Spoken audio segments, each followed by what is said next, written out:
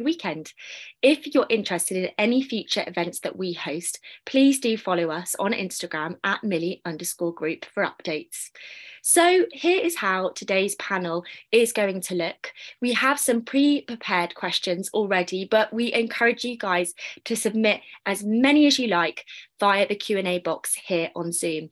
Throughout the hour, we're going to go through these questions and during this time, we'll let our panelists answer your questions too. And whether they're general, or they're more specific to a panelist or which university that they went to. I really encourage you all to make the most of these fantastic panelists, and I'm sure that they will be more than willing to help you in any way that they can. So, Sweden, Scandinavian style, Fika, Greta Thunberg, ABBA, and breathtaking scenery and landscapes. But what is it like to study there? Speaking of which, here are our experts. Let me introduce our amazing panelists, Elma, Sydney, Simon, and Asma, all of which are going to share their wisdom and experiences of Swedish university. So please can we kick off with each of your names, the city you are currently in and where you are from, what you were or are studying, and one fun fact about yourself. All right, I guess I'll start then. Uh, my name is Alma, and I am from and also currently based in Stockholm. I attend the Stockholm School of Economics, and I'm currently studying in their international business program. Uh, as for a fun fact about myself, um, I guess this will become apparent, but I did go to high school in the United States, and I lived there for a total of six years, which is also why my accent is uh, quite clearly American at this point in my life. Hello, everyone. My name is Sydney, and uh, fun fact: I'm not from Australia. I'm from Brazil. there are people get I'm from Australia because of my name. Uh, I'm living in Sweden now, so I come for living in Sweden. I decided to study international comparative education here. Uh, so that's all about me now. Hi guys, um, my name is Simon. I'm uh, based, I come from and I'm currently based in Warsaw, Poland. Uh, I studied in Sweden and I actually graduated 2018, so a while ago. But um, fun fact about me is that before moving to Sweden, I lived in a, in, in a few different European countries, Germany, Belgium, Netherlands, and Poland. Um, and and um, yeah, looking forward to today's session. Thanks. Thank you so much. I am I I'm still to introduce myself. Um, so I'm Asma, and I I'm doing my PhD. Uh, since 2012, I've been here, uh, and a fun fact about me is that I've been to more than 15 countries, lived in uh, more than five, and uh, yeah, so it's quite um, i have a lot of multinational experience uh, uh, so i look forward to talking more about us and the university we study in. Also asma i really love the northern lights. You've really committed here to that as well. Anyway let's get started. So how did you guys decide about what course you wanted to study at your chosen university, what kind of tools and resources did you use? Um, and I think the reason why we're sort of asking this is because the people that might be listening in are going to be, you know, going through this stage of trying to find out whether they even want to go to university. So, how did you, what kind of tools and resources, whether that was online or whether the school that you were at, did you use?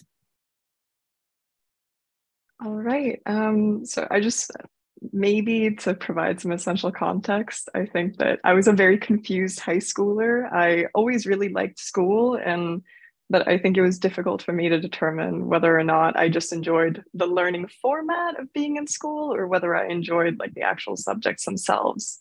Uh, so I was really unsure about what I wanted to go to uni for when I was, you know, 17, 18. I was trying to figure it out. But that being said, I've always really loved history. And at the high school that I was at, I got lucky enough that I had an incredible history faculty. Um, and so that sort of led me to pursue economic history and international relations at the beginning of my university career. Uh, obviously, I'm in business now, but it's neither here nor there. We can talk about that later. Um, with regard to the tools that I used, I think I did a lot of prep work sort of unknowingly simply by talking to my teachers. I mean, you can call me a bit of a teacher's pet if you want to. I will completely accept that label. Um, but I did have a lot of lengthy, sort of like abstract discussions with like my history and English teachers, uh, and even my debate team coach at the time, actually, about the sorts of things that I might want to study in the future. Uh, and that was definitely very helpful and something that I recommend. Sort of use the mentors in your life to, you know, discuss these things and really parse them out. Uh, and then when it came down to it, I really just did my research on the course catalog and sort of like the different departments at Stockholm University where I did my undergrad. And then I picked what seemed most interesting. So, um, but that being said, main takeaway uh, it's okay to change your mind and you will figure it out because, of course, I did as well. Uh, so, you got this. It's okay. you just take a line on that, change your mind. I changed my mind in my career several times. I started as a dancer, I went to journalism, then marketing, and now education. So it's a way to reshape yourself through time. And one thing that I learned here in Sweden that that's possible to do that. They offer a, range of courses and a small program that you can take to change when you decide to. So my, I start first because I decided to do a PhD, so I'm preparing myself for a PhD. So when I moved to Sweden to transfer credits and recognize your certificate for the art school, it's a lot of things in between. So I decided to do also a master in education here to also to have a little more uh, credits. Uh, so the tool that I used here was a website that they have where you can see all the universities at once. So you start to, to filter by type of course you like or things like that. And they come a range of possibilities in different universities in Sweden that you can apply. So, so it's much easier than you go in each university and look for that. You go in that website where you can find all those information at once. Um, yeah, and my focus is to go for PhD. That's why I decided to do uh, a Master in International Comparative Education. So now I'm on that path. So that's that. Well, for me, it was a little bit different, guys, because um, before before applying uh, for for this uh, uh, master in intellectual European intellectual property uh, law, I studied at um, uh, one of the Dutch universities that was uh, in in Maastricht in in the Netherlands. And so I was lucky enough to already know that law is something that I want to pursue in the future. Um, I was even luckier uh, to know what uh, what direction do I want to uh, follow, do I want to pursue, and this was because uh, during my studies, during my bachelor studies, I already got involved in a um, extra project that was that was a part-time job in a, a company IT legal company that uh, dealt with uh, intellectual property matters.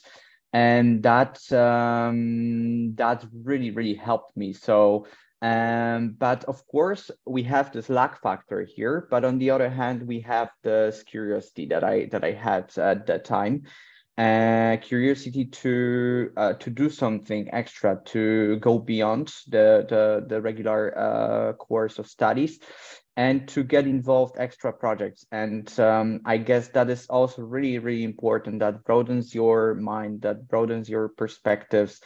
And uh, of course once uh, everything was there i just uh, went online and started looking for uh, master programs that could address my uh, my needs and um, actually stockholm Stockholm University and this particular program, master program, turned out to be one of the best in Europe. So um, both then uh, taking into consideration economic factor factors and geographical factors, uh, I I decided that's the best choice for me, and um, there we go. That's how it started. As for me, I um, I had an interest in research, uh, and uh, I just googled the first tool that comes to mind. And uh, honestly i had no clue about how swedish universities work how the phd is here. And uh, i would encourage everyone to know more about what they want. And uh, phd here is an employment so like it it clicked all the boxes that it, I needed. So yeah, um, that was my journey. I applied just when the procedure was online, and that's that's my journey. Thank you so much. You had a real variety of answers there, but I think the main the main thing that we kind of focused in on was obviously with your research is using the people who you know are surrounded by you and teach you. And being a teacher's pet we're going to try and change the stereotype. It's a really good thing because they are experts in their area which means that they're probably going to know what's what's best for you and how to get into what you'd like to do um, we're going to move on to your your degrees now and kind of talk about your probably your favorite parts but also the parts that you least expected. And i guess in the sense of how they were structured obviously we've had the coronavirus and the pandemic so that's massively changed the way that people have attended university. Could you give us some insight on what that experience was like for you? And yeah what your favorite part was what was a module that you enjoyed but also what you didn't quite expect and has either been good for you or something that you wish you had prepared for a bit better? Ooh, in terms of what I wish I would have prepared for better, I think there is no way to really prepare for the pandemic per se, but I will say that I was definitely ill equipped in the beginning to sort of deal with uh, the strains of like completely virtual education, if you will. I I did go through it. I mean, I think the the latter half of my uh, undergrad experience was completely online, uh, and that was definite. not that I could have prepared for it, but it was more difficult for me than I had than I had originally expected. I think the sort of the social part of studying turned out was very important to me, and I didn't even really know that about myself until that happened.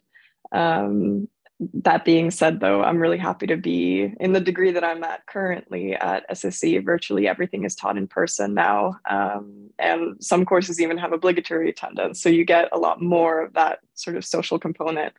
Uh, and to me, I find that that's really important. And since attendance in person is always really high, uh, you also get this like nice social cohesion within the class, which I really like. Uh, with regard to like projects or course modules, I think that since I started off my undergrad experience studying something that was different from what I actually ended up getting my degree in later, uh, that definitely uh, influenced sort of like the way that I tailored my own experience later on. Uh, I took courses in development theory and global political economy very early on. Uh, and that completely changed how I conceptualized my worldview in a lot of ways uh, and definitely impacted the types of projects that I took on later on when I switched to business administration. Uh, and it was very fun to be able to sort of combine those interests since business tends to be pretty broad. Uh, so, and that definitely made everything a lot more fun for me as well. I very much enjoyed that. Uh, I'm only a semester into my master's degree at SSE, but I've had one course in particular that I had in the beginning was super, super interesting. It's called Managing Human Dynamics. It's taught by a brilliant researcher named Payande Kiadbari. Uh, and it taught me a lot about negotiation and group psychology and power dynamics, which was super, super interesting. And I still think about the content a lot. Uh, so I definitely recommend looking into him if anyone is curious about those sorts of topics. Okay, for me, uh, I think one thing that I, I would like to be more prepared at the beginning was to have more fun with my friends. But we we had COVID in between, of course. That that was a huge problem. But I was so focused on learning. I, I'm I'm kind of academic. When I'm studying, I'm studying, and uh, I didn't figure it out that that one thing that you learn is with the, the word lagom is find a balance between everything that you are doing.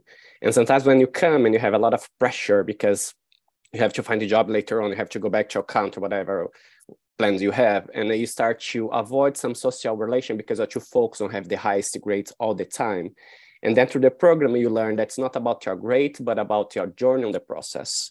And that's one thing that I really take from this course that, that we learned because we had COVID, all those things, although Sweden didn't have a very strong restriction uh, like other countries, still we learned a lot in this process and the contact wasn't that so easy.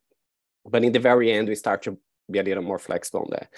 Um, when it's about the course models, uh, uh, how, how they, they shape the education here in the master that I took is very different than Brazil, for example. In Brazil, we have like eight subjects at the same time during six months. In Sweden, take one, one by time. So five weeks or 10 weeks, depend of how many points do it's the course. And that for me was very interesting to feel because you could fo focus just on that instead of have a lot of things going around. Now is it's about this, now it's about that, and you don't know what to do anymore. You're lost.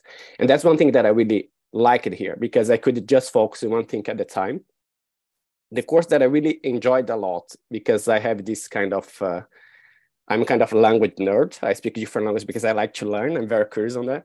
And then we have this uh, language and uh, uh how you teach language and for education, how it's important uh, when you're teaching the multi uh, diverse environment like international courses that you have people from around the world using English as the main language, but still you do not access the language in the same way. The content through the language can be a problem sometimes.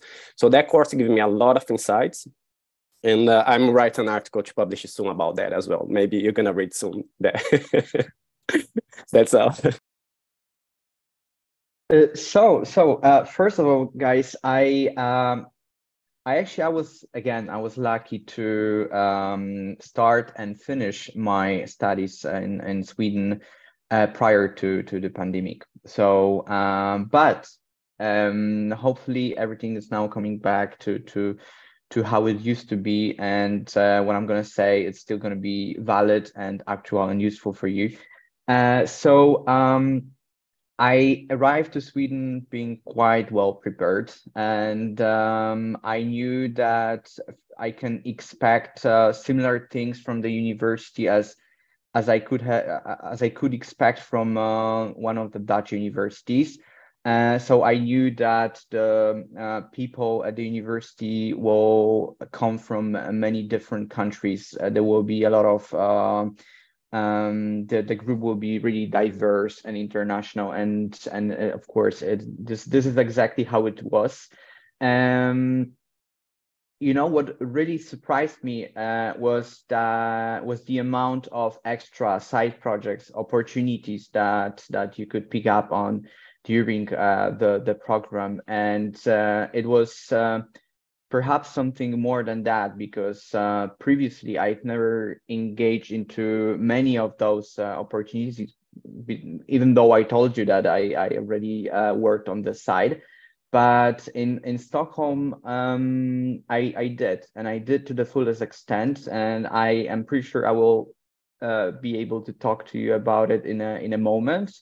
Uh, but uh, that was first thing. the second thing was uh, something that Sydney has already mentioned, uh, meaning um, the structure of the of the uh, courses. At the time, uh, at one time, uh, there were only two uh, courses, and that really allowed me to focus on each of them. spent um, fair amount of time studying and and deepening one uh, of them at the time. And uh, that was that was wonderful because that really uh, gives you uh, room to explore to focus on the subject and to really decide at the end whether you like it or not. Because because as we as we mentioned coming even even at this stage even uh, if you are applying for a master degree there's uh, you don't know everything right? And you come also to to find out things about yourself and what you like what you want to do and uh, in fact many people after uh, graduating from master degree they they uh, they go along and, and start another one and it's uh, and it's completely normal. So and there's really no right or wrong way uh, way to go. And uh, as long as you have the space to explore yourself to to um, explore your interest that's that's the best you can get i guess and uh, to me stockholm was the place that really allowed me to to uh, to do it and uh, to explore myself. Cool. Um, so i i love this master's experiences that i'm hearing about but in phd you have a lot more freedom uh, you, you, don't have a structured most uh, of the departments don't have a structured uh, system in place for phd so you have this flexibility to choose whatever courses you want but still uh, i mean you're doing the thesis full time. Together you have to have some credits which is uh, in varies from 60 to 100 something in different um, depending on which faculty uh, you are in so in my case, in the beginning, there were a lot. So I got pressurized to choose a lot of courses. Um, some of them, yes, I enjoyed, but some I felt, oh, I'm being pushed. Uh, but I think uh, it's important to remember what the purpose of doing this is like in the end of the day if it's not helping you move forward with your thesis if it's not helping you in your work then it i mean it's no point getting those points in the beginning. Like you will figure it out uh, towards even towards the end of your journey. So don't rush it. Just you know take it easy and um, see what benefits you. So yeah that would be my advice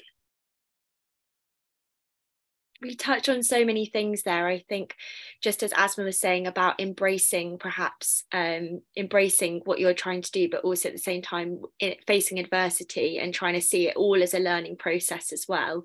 And obviously we kind of touched on that with the pandemic and how it could be seen as as a drawback but actually um, it's given a lot of flexibility you know whether people like learning online or whether they like going into the classes perhaps covid has given a bit more of a flexible structure to learning for a lot of for a lot of people. Um, so i feel like simon was slightly touching on it there and I, i'm really glad that he did because we're going to start talking about opportunities including kind of work placements or internships or just that work experience that i think a lot of students kind of um, want to kind of engage with with their studies maybe so that they have some something to take with them perhaps when they're applying for future jobs um, so, what kind of opportunities did you guys either see or engage with, or did any of your uh, course mates engage with as well while you were studying your chosen course? I think for me, there is definitely like a difference between the kinds of jobs that not only myself have had now undergrad versus masters, but also when it comes to my friends. Um, I think during the later part of my undergrad, for example, I worked in retail at a local sort of independent boutique, uh, which was super fun and worked really well while I was writing my thesis and whatnot, because it was very flexible and I had a lovely manager, which was very perfect at the time. Uh, and but now, for example, for the past semester, I was working at Arla Foods, which is a very large FMCG company here in Sweden, uh, as a student assistant uh, which was a lot more corporate, but definitely maybe gave me a bit more career experience in terms of sort of like orienting myself towards what it is that I want to do in the future. Um, and I think that this is sort of has been the case consistently, not only for me, but also for the people around me. Uh, when I was in undergrad, a lot of people had different kinds of flexible jobs. Uh, so maybe they worked in retail like me or as baristas. I knew a lot of people that worked at banks, funnily enough. Uh, so there was definitely a bit more variation versus now at the master level. I find that the people that do work, that have the time to, um, tend to work in more corporate type environments and whatnot. Um, unfortunately, the work that I have had, I've essentially secured on my own without much school intervention. So I don't think that I can be very helpful with regard to that, but maybe my fellow panelists have some better advice for those. Better advice? I don't know. but I can tell that in Sweden, when it's about internship, can be a little different for other countries. Um, in Brazil, normally we receive when you're doing internship, they pay you. In Sweden, normally they do not have this policy because the student has this kind of um, uh, support from the state and so on. is a little bit different. For international students, also different because you cannot have access to that. So it's a lot of things in between. Uh, but I have a lot of friends that went to, to do internships in UNESCO in Paris, for example, because they like our program here. People that went to OECD. Myself, I was in a process to do an internship in Italy, but because COVID, other things, and PhD process, I didn't went there. So international organizations, they really like our program, uh, especially because come from the Stockholm University. That's a strong brand. Um, we have a lot of students that now is work on schools in the administration process, but also teaching because some of them come from the teaching process. Other ones go for the administrative process. So there, there is a very range of areas that you can work um, when you, you do the program because the program although it's focused on education in the whole process we learn a lot of skills that's required for any kind of job. One thing that's very strong in our program and i guess the other programs as well as the same is the group work. We have a lot of a group work and own research. You have to do by yourself discuss and then you come to teach on the class with the other students. Is that we call as flipped class. So the teacher become just one observer and the students start to share the knowledge and then they come to organize the whole process. So you become, you take ownership of the process. So because of that ability that you develop here, it's very easy when you go for job market because they know that just somebody are gonna take the leadership when need and somebody gonna really work with the team when you need. So it's something that I take very strong. Uh, right now, I'm involved with the TEDx Stockholm. That's also um, part of the TED Talk. Uh, so I'm their producer, and now I'm just changing position to organize the whole other teams and also in other process for other organizations to work with them as well. And a little before I was working with communication to help migrants that come into Sweden to integrate society under the, the Swedish context. So basically it's a little bit my journey and the tips about the process. Really, really in interesting and inspiring. Uh, I would like to I would like to say one keyword: empowerment and um, that's really what I associate with with my time in Stockholm. Uh, and I don't want to talk here about my job that I had already at the moment of uh, of arriving to Stockholm, because uh, I worked for four years remotely before it was you know popular. um, uh, but um, I would like to talk about one of the best uh, opportunities that I that I got during my uh, my time uh, in in Sweden. That was a moot court competition. Uh, and what is moot court? Is a simulated uh, uh, legal proceeding in front of the court. you have judges. You have um, two sides of the of the legal proceeding. you're either defendant or opponent, and and that was that was advertised to us at the very beginning of the of the year that everyone would like who would like to engage is very welcome. And i thought why not? I've never done it before. I had a few moot courts as a part of my studies in uh, in the netherlands but but this was this was uh, different because this was a uh, a pretty complex. It was a Nordic moot court, so it had uh, both national and um, regional slash international phase. And um, I really got involved in in this one, and it really consumed a lot of my free time. But was really important. It was highly encouraged by the by the staff, by uh, the professors. They offered a lot of help uh, along the way, we were also, because I was in a team of two, we were also um, uh, assisted by two uh, uh Swedish law firms from Stockholm. So uh, we could reach out to them for any advice. They helped us to prepare both uh, written submissions and and then oral submissions and um, and actually actually uh, we won a national phase. Uh, we got to represent Sweden in uh, in the finals. The finals uh, took place in Helsinki, and we flew there. We spent a few days in Helsinki, and then we were also lucky to win this one too. And and it was great experience because it was the first time Sweden won in ten years, I guess. So uh, at the end of the day, the reward was that we had a nice dinner with uh, Supreme Court judges from uh, Norway, from Denmark, and it was a really really great experience and it really empowered me to to do more stuff on my own and um, it also inspired me to write my thesis um, the best way I can do, and uh, uh, also uh, it was it was it was uh, it was great because uh, for the thesis uh, I also got the very good grade. My and even I, I didn't know what to do afterwards, but I was lucky to be approached by the by the uni staff, and they said, you know, your thesis is quite nice. Maybe it will help uh, students uh, next year to to to show them how to write the thesis. So so first of all, you have to be again proactive, but you're really empowered to to do something, and you're really encouraged to do something, and and and then if you do a great job, it's it doesn't uh, it's not lost. It will be most certainly used for the good of everyone. Uh, but at the end of the day, anything you do, you do for yourself, and um, and that's what's really important. So I guess that was that was uh, the most valuable experience when it comes to uh, extra extra involvement projects, internships, because because even though it's not an internship per se, it really really helped me and it uh, really built a little bit of a network as well. So that's also really important in the future.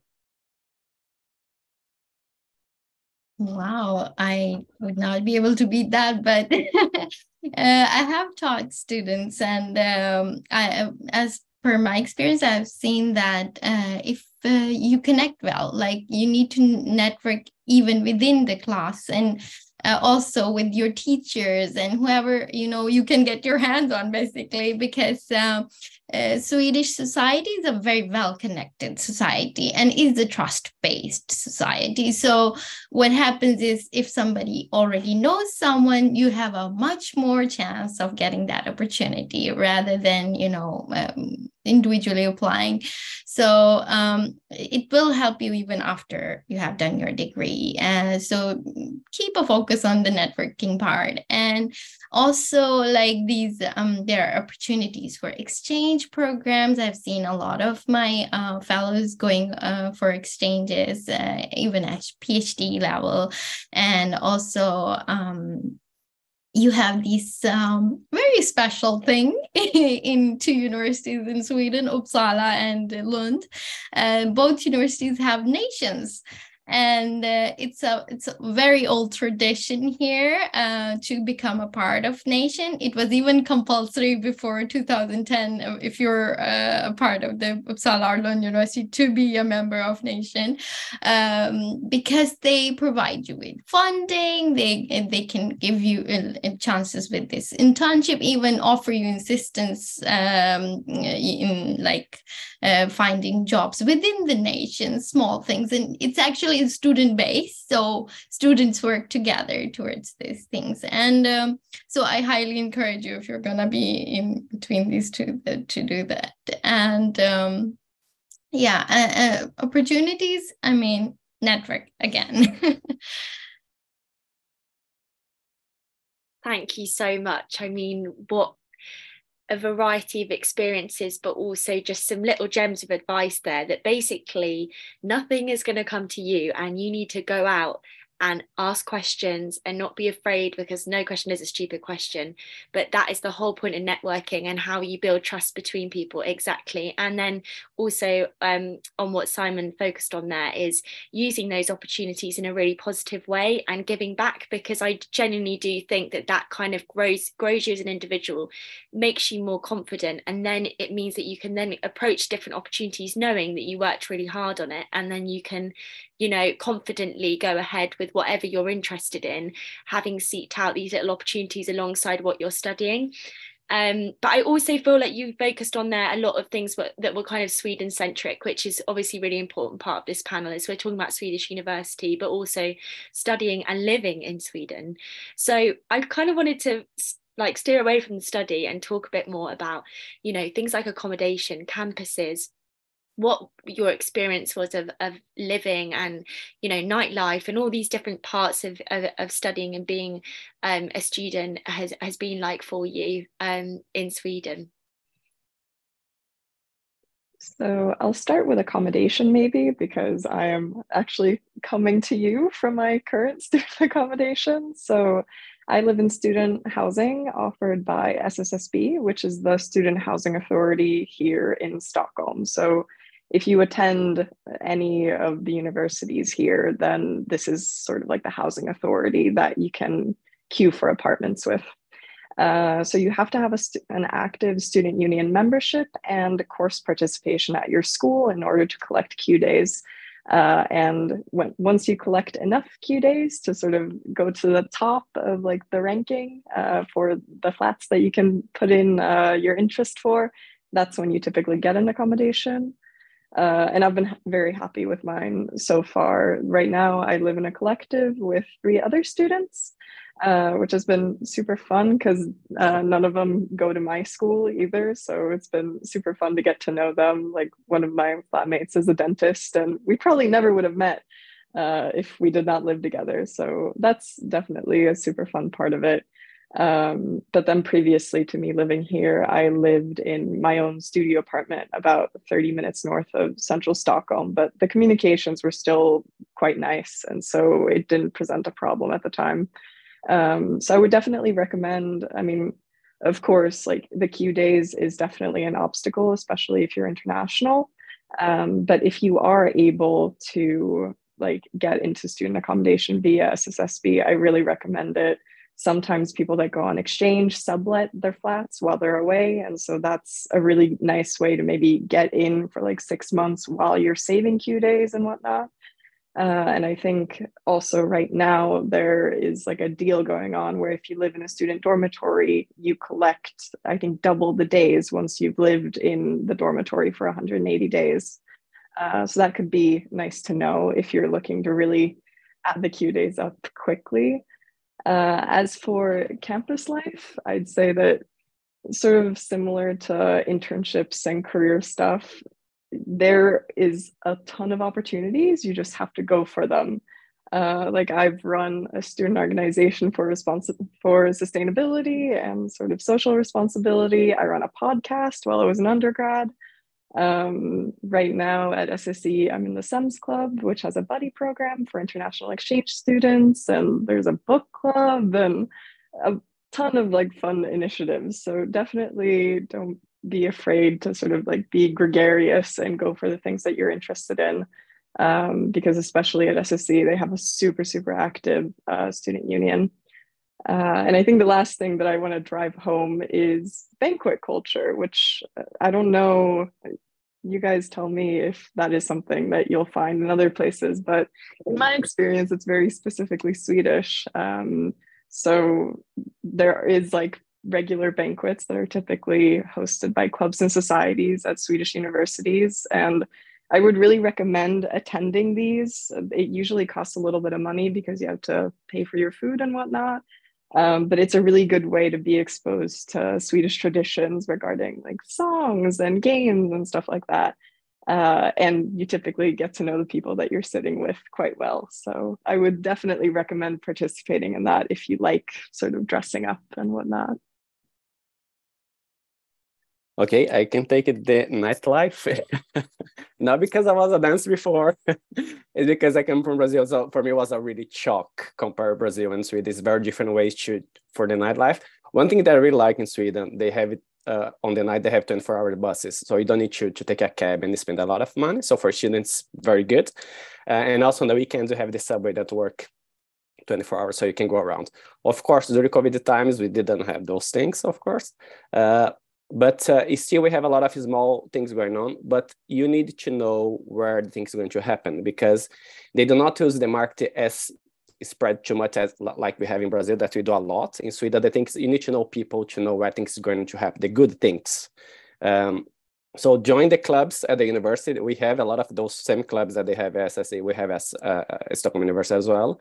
And at the Stockholm University, also can start your own club. If you feel like you create a club, we have the language cafe that if you want to teach your language, you can create clubs to teach there.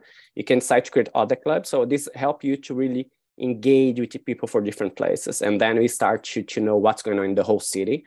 Because the the good thing with international programs it's like it's a lot of international it's really international. No when i mean it's really international. My class i had like 23 people for different countries and we were about like 27 28 people on the class. So it's mean you have practically one for each place of the world. That's it's amazing. So that's going to help you with this nightlife to know what's going on uh, what's the good uh, thing. Um, one thing that's good to experience in sweden is the uh, second-hand shops. It's I, have never seen that around the world. This I, I think it's pretty much Swedish also. it's, it's like a store where you go there and buy things that people sell. So you help also with the sustainability in the world, but you can find a lot of good things with very good price. So I really recommend if you come really to study in Sweden to experience this uh, Swedishness way to do things. So that's my tips. Um, so I, I, actually decided to touch upon the uh, accommodation topic uh, from the perspective also uh, uh from, of someone who uh, comes from a um, maybe perhaps a little bit poorer country. Um, it, to, for me, there was a dilemma whether I should um, find an accommodation more central place located or uh, further out from the city uh, center. And because first of all, if I was going to live in a city center, that would limit my budget for going out. But at the same time, I uh, would uh, be close to all the events, opportunities. On the other hand, living uh, a little bit further out uh, would uh, allow me to keep a part of my budget for going out, but uh, it would I would need more time to to commute. Um, there is no right or wrong answer to that one. I actually tried both. and I a year, uh, six months. I lived a little bit further out, and uh, and my strategy then was that I would go early in the morning, stay at the uni, and then don't go back uh, to to to don't go back home immediately after after my classes, but stay in the in the city as long as possible enjoy go out for beer um, for coffee um, and uh, only then in the evening go back to to home. And also stay in the library too because you have to remember that you have to study and, and that's the main purpose why you're there right? Uh, and the second half of the year i lived uh, maybe not super central but it was uh, i i was um, 15 uh, minutes away from the city center by underground and then 25 i guess from the uni. And I had equally good time uh, because by then I also knew how can I how I can enjoy the city without spending a lot of money. So instead of uh, visiting uh, uh, uh rooftop bars, uh, we were going to student bars and or sometimes making even like house parties and and that was that was the way to go and um, i guess at the end of the day you have to find a good good balance uh, uh, important messages not to forget uh, why you are there uh, was your uh, general purpose but not to forget to enjoy your time not to forget about socializing because as as we all said and as uh, asma mentioned networking is is the key. Um, and uh, getting involved with clubs societies as much as you can that that is a definitely great thing to do because you you never know what uh, you can actually get out of it and what's waiting behind the corner right? So um um 100% of people uh, who won actually tried right? So uh, if you're not trying you will never uh, you will never succeed. Um yeah so that's that's i guess that's my message regarding this topic uh, and I take it from there, uh, your last comment about uh, networking. I think most of the people who come from uh, international places have a problem with Swedish people not being too friendly too uh, quickly.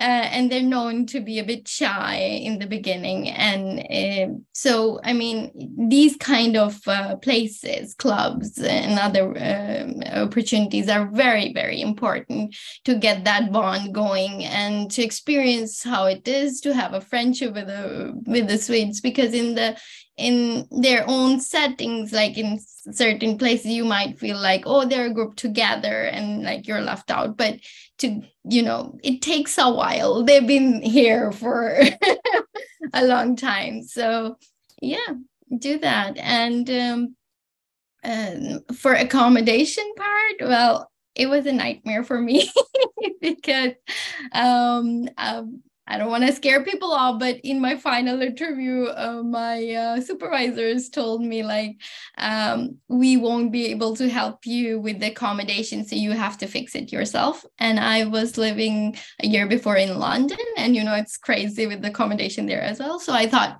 well, how bad can it be? Really bad, really, really bad.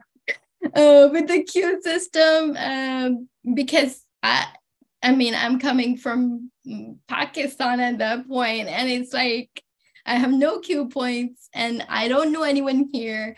So what I did, and I would recommend every one of you to try, is to like get to know people through social media who are living here because uh, that's how I secured my very first accommodation. That was just a mattress in a very black room, but still, I had a place to sleep. So, I mean, uh, there are other ways to do things, but um, yeah, that accommodation can be a very big challenge. If you think that it's going to be easy, try to like, you know, prepare a little bit, a bit early.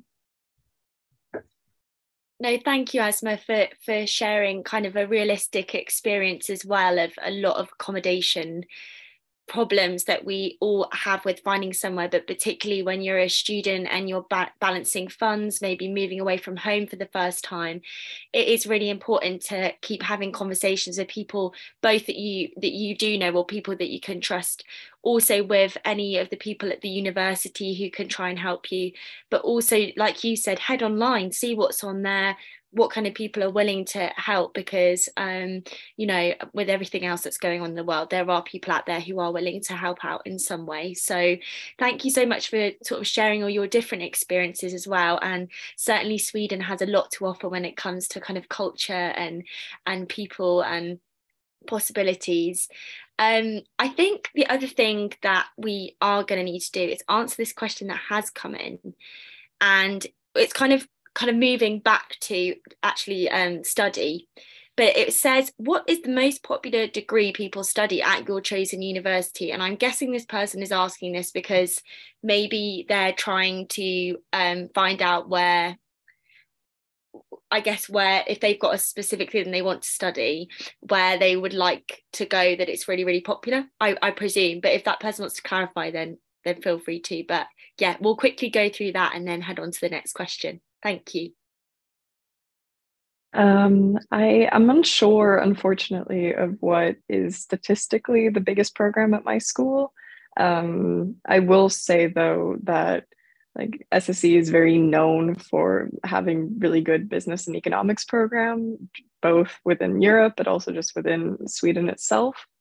Um, I think the program that I'm in myself is quite popular in the sense that it's ranked in the Financial Times. And so a lot of people know about it and want to go to it, but it's quite selective. We're only 53 people in my class currently, uh, and they usually don't take on more than about like 55 per year or so. Um, but then on the flip side, I know that the master's in finance, for example, is about 150 people. And so it's almost three times bigger. Um, and then of course there are bachelor's studies as well at my university where it, i think it's two different programs and they're quite a lot bigger than the masters as well. So uh, i unfortunately don't have a very concrete answer uh, but there's if you want to do business or economics i would definitely recommend SSE as a very viable option at the very least yeah, I would recommend that also if you want to do business. But if you want to do humanities, arts, and natural science, come to us because basically it's like that. Stockholm University is very uh, humanistic. That's very interesting because I had a lot of friends that come to study here with this um, positivist approach to quantitative data in mind to do research. And then they come later and say, you know, I figured out that qualitative research is also good. That's very interesting how things uh, is different uh, from Stockholm University, other universities as well. Um, by guess, because I study uh, uh, education, I think that the most common problems is, are related to technology because it's a trend right now, right? Uh, so basically, uh, we have here in Sweden a website, I think it's SSB, right, Emma? I think SSB, that you, you can check exactly the amount of applications per course if you want to really look for that. But don't be afraid to apply for some course if you have a lot of applications because the um, letter of intention that you write uh, to present yourself, because you have to do that, is a really important and a really check. So it's not about uh, uh, the high score you have, but the other qualities also. So in my program, we have people for different countries with different backgrounds, also, also different levels when they think about English and everything, because they try to creates a, a, very diverse group because you learn a lot for different perspectives. So in that case, do not be afraid to apply if you feel that, oh, it's too much to apply because too many people. So yeah, just do it. Um, uh, for me, it was it was quite interesting because there were only 20, I guess 22 of us uh, in the in the program, but uh, I don't find it surprising. I guess uh, I would like to comment on what Elma said. Um, it's um, it's it's usually it's always like this that uh, um, uh, you go from general to specific, right? And your education way, uh, education route is similar. You start with a bachelor, uh, and you you tackle a, a huge um, a huge area of educational area, right? And then you specialize. And as you go forward, you will meet less and less people who are interested in the same uh, thing as you are. That is a good sign, right? Because that means that you are going into de- into depth, into detail, and you explore some specific areas. And I guess if we talk to Asma, is uh, perhaps it's it's even it's even less, right? Uh, people who who are doing the same thing as she does. Um, and there is uh, absolutely um, nothing bad in you know finding uh, studies, finding courses where you have a lot of applicants. Um, it all is a good sign. It, there is not uh, there is no rule that it's a good or bad sign, right? But it's uh, you cannot measure everything by just by looking at the amount of applicants but generally as i said the pattern is from going from general to specific and uh, that's that's important to to remember um, I agree uh, that in my case, I didn't had a lot of competition in the beginning, but well, I think I spread the word a bit too much, so now it's everywhere. Uh, but um, uh, in terms of this question about um, where are the most applicants based, I think uh, the uh, we have three faculties. Uh, so one is like humanities and social sciences. The other is uh, medical and pharmacology, and the other is um, um, science and technology. And that is i would say the most popular uh, the last one with the international students. So i have been there and i've seen like how much diversity there is uh, compared to the other departments that i have been. So i would say science and technology and like you know the, the hardcore science especially like in physics uh, and other subjects i have seen a lot of international student and international interest. So yeah Thank you so much, guys. Well, I hope that's answered um, your question about uh, not so much popularity, but perhaps more about specialising in a certain subject and where that might be a bit more um, apparent. But I would definitely go onto the website and have a look. Sorry, Sydney, did you did you say a specific website? And if so, is it possible to get a link and pop it in the chat? Yeah, maybe? I'm I'm exactly trying to find it because oh. I'm very bad to remember names and I forgot my name sometimes. But I'm gonna send the, this as soon as possible possible. Otherwise, if I, I, I do not read now, so just read me out later and I can send to people uh, yeah. directly also. Uh, yeah, there but I'm looking for Thank that. you so much. That's fantastic. Um, obviously as well, you can sort of do your research on Google and things because I know out there there is a lot of um, you know, resources about how many people are on the course, but actually what sort of courses are out there because I always had this thing where I went to uni and I studied something very general and then found out there was five different u- unique courses for specific you know um, topics. And I sort of wish that I had a bit more knowledge. So really do your research and and have a look at what's out there.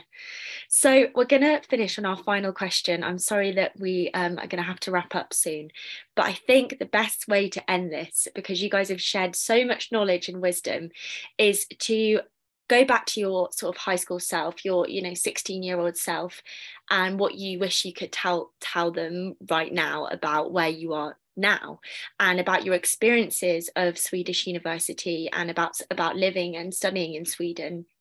What would be your two pieces of advice that people can take away with them from this panel today Oh, uh, well, I think maybe going back to what I said at the start of the panel, it is okay and actually very encouraged to change your mind. you are allowed to change your trajectory as many times as you want to. Um, because, at least in my experience, I've found that sort of like at the end of the day, it's the cumulative experience that matters. And so everything that I learned when I was studying international relations, I have taken with me as I've gone into business administration. And then eventually that led me into international business, which is sort of, you know, without me knowing that before I started, the perfect cross section for me uh, and for what I'm interested in. Um, so I think I really want to emphasize that it's okay to change your mind. And even though things might feel a little bit out of control while you're changing your mind, uh, you will get them under control eventually. It's completely fine. Um, and I'd say if I were to go back to my high school self, I think I'd also um, want to remind her that, you know, being an introvert is not a bad thing. I'm a very introverted person, and I think it took me a little while to sort of get into a groove with um, sort of the social aspect of being at uni and whatnot, especially when I moved back to Stockholm by myself. And I didn't really know anyone my own age. So it took a while to get there. Um, but you know, I would really want to emphasize uh, the importance of sort of like grabbing onto different types of social opportunities and going to clubs. And when you go, I mean, if you can't manage to talk to anyone, that's fine as long as you go because you might talk to someone the next time. Uh, and so don't be too hard on yourself, but also don't let yourself off too easy, maybe. Uh, try and sort of walk the line, maybe. I don't know. I would say uh, also do not be too hard to yourself in, in both sense. Uh, because I was too focused at the beginning to study, study, and later on understand, okay, I need to have a good time with my friends, and I start things change. Uh, but if I go back on time before graduation and everything, I would say to start to look a little more in the broader perspective, what what's out there, because sometimes we don't know exactly what you want to do, and just because you don't talk to other people, you cannot even see that there is possibilities. There is a lot of possibilities. Uh, if you cannot pay to come to the Sweden, there is a lot of possibility for scholarships, for example. So to not give up on yourself either, uh, because depend of the country that you come from. I come from Brazil. There is this uh, is a poor country Asian mode. We, we don't go out that much. Uh, uh, depending the area that you come, you have you don't have access to information. But if you understand how to find information, how to ask the right question for the people around you, you start to build your connections to go abroad. And now I'm here, and I just finished a master's in Sweden, and I soon gonna do a PhD here as well because box check it's a pay position. You know the place that you have to pay to do a PhD, here they pay you to do your research so, and I discovered this because I ask people and they say, okay, that is this, and then so you go. So, do not give up yourself. Look for outside what's there and be just like water. Reshape yourself every time that you need to do that because life is a constant, constant change and education is also that. So, if you feel that you have to change, change it again. Don't work, change it again. Just be flexible and love yourself and keep dancing. That's my advice. Wow, I, uh, Sydney, I, I love what you said, your last sentence. Uh, guys, my main message is to be uh, agile. And life is not uh, not at all about pre-planning uh, everything you're gonna do. And uh, sometimes I, I think that I would have done things completely different um, after after my high school, and then I end up with a conclu- conclusion that I I still I still don't regret anything that I've done uh, because life is um, all about collecting small pieces and not looking back, but looking forward and thinking what you can make out of it.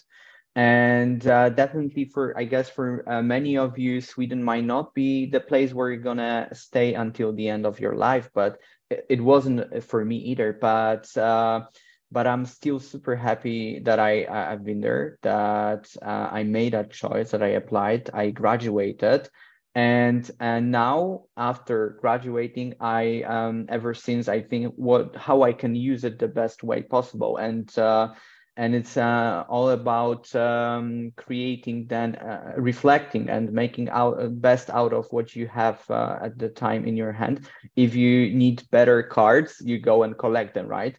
And you start you go you, you do something else you change direction you start another degree there is no right or wrong way. Um, what I would have uh, done differently uh, prior to starting studying, not talking particular specifically about Stockholm University, but in general, studies in general, I would have um, um, done a gap year. I would go abroad. I would um, uh, learn uh, English. Uh, I would also make sure that I have enough resources to uh, enjoy my uh, study time. Um, uh, because then you really want to have this healthy balance between working, studying, and not saying partying, but socializing, right? and um, and for me it was a little bit um, not well balanced, but um, I managed right, and and uh, and I'm and really I'm looking back, I'm happy uh, with what I've done, and I'm really happy uh, uh with uh, where I am at the moment. Uh, so yeah, also stay positive, right? and yeah, that that are main messages that I want to wanted to tell you about today great advice from everyone. Um so yeah take all of that and also like eh, as i said go easy on yourself and also know yourself. Like try to explore what is it that you want because um, sometimes we choose one thing and we our head gets stuck in that.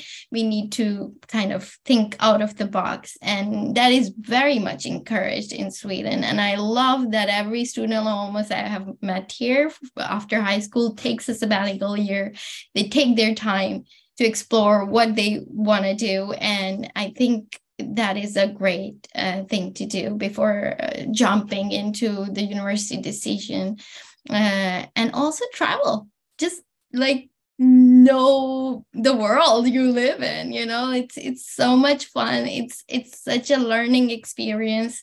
And i have learned i have grown so much from the experiences i've had. And um, uh, don't worry about the risks also too much. I mean, you can do your research, you can learn about things and everything, but you cannot really live that moment. Uh, so when you go, you see, you experience. It's it's a very different uh, thing from what you can read or uh, do. But I mean, yes, do your research, but still uh, take the risk explore go and uh, find yourself. I mean that's that's probably my advice Guys, thank you so much. I wish we could put that in a little book and just send it to everyone. But um, we touched on a few things there. We spoke about keeping inquisitive. It's okay to change your mind, be flexible, be agile. Don't be so hard on yourself. You know, you're in your 20s or whatever age and you're trying to figure things out. That's all part of it. It's about actually taking in and embracing those small moments that kind of puzzle together your own unique route build connections with work and with people and see it as a time where you can explore and get to know the uniqueness of you. And that could in- include things if, if you can afford it and if you can manage it. Exploring and finding out about different cultures and traveling and I think also it seems with um, Swedish Swedish culture in particular, all about balance, about having a balance between all the different kind of parts of life, and that's something that maybe if you want to study and live there, you should definitely take on board. But we're sadly at the end of today's panel. Um, thank you so so much to all of our wonderful panelists. I feel like everyone's giving a virtual round of applause. Um, for sharing your helpful insights into Swedish universities. Also, a big thank you to everyone that has joined us today, wherever you are in the world. And once again, if you need any help with university and career guidance, do check out our website and our Instagram. And you can contact all of our panelists with the LinkedIn and emails that we have in the chat at the, at the side here. Um, but I hope you all have a fantastic rest of your day. Thank you so much for joining, and it was lovely to meet you all.